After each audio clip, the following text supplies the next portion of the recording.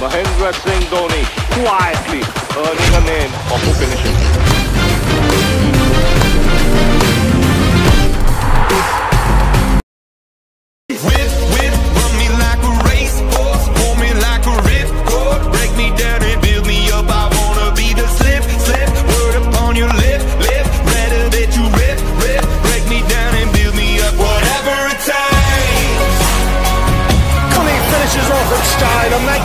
straight into the crowd.